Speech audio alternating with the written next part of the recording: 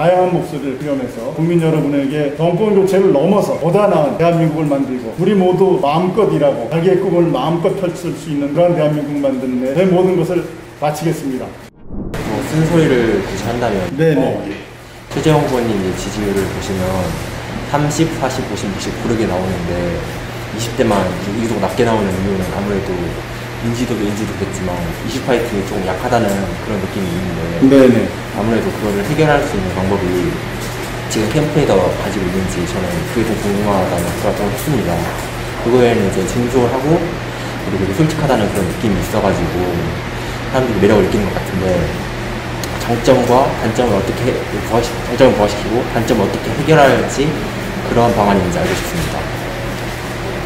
20 파이팅. 예, 좋은 지적을 해줬습니다. 지금 제가 어, 정치를 시작하면서 어, 제가 과거에 살아왔던 그런 삶의 모습이 이제 바뀌어야 되는데 아, 지금까지 그 살아왔던 삶의 모습의 어떤 관성 때문에 그런 국민들이 원하시는 어떤 그 뭐 싸우는 모습이라 그래야 되나요? 뭔가 하여튼 그 잘못된 것에 대한 분노 어, 이런 것들을 좀 공감해야 된다. 라는 그런 생각 그런 생각을 가지고 말씀해 주시는 것 같아요. 저는 약간 네. 젊은 층하고 소통하는 그렇죠. 예, 그건 포함해서. 예. 그런 게 있잖아요. 예, 그래서 어, 앞으로 국민들과 좀 더 어, 그리고 국민들이 힘들어 하시고 그 어려워하시는 문제에 대해서 제가 느끼는 어떤 이 어, 공감을 어, 그대로 그대로 좀 표출해서 국민들과 공감을 해야 되겠다라는 하나 제가 생각을 가지고 있고요.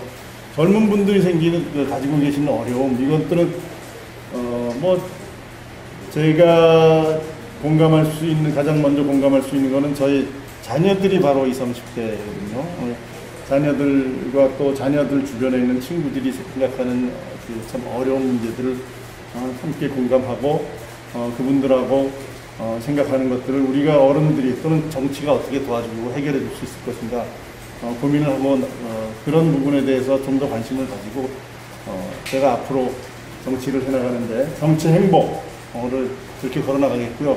우리 최경민님처럼 저를 아끼고 사랑하시는 분들이 의견을 많이 내주세요. 그럼 네, 저희가 그렇죠. 그것을 정치가 반영해서 정말 젊은이들의 목소리를 반영하고 지금 젊은이들이 가지고 있는 고민들을 해결해 줄 수 있는 어, 그러한 정보를 만드는데 제가 더 노력을 하겠습니다. 저에게 지금까지 어, 걸어온 저에 대해서 뭐 격려해 주시는 것은 물론 또 앞으로 잘하기 위해서는 무엇을 해 주, 해야 될 것인가에 대한 좋은 말씀도 해주셨습니다. 어, 이러한 국민들의 다양한 계층의 다양한 목소리를 가감없이 수렴해서 앞으로 제가 국민들에게, 여- 국민 여러분에게 어, 정권 교체를 넘어서 보다 나은 대한민국을 만들고 우리 모두 정말 마음껏 공부하고 마음껏 일하고 자기의 꿈을 마음껏 펼칠 수 있는 그러한 대한민국 만드는 데 제 모든 것을 바치겠습니다.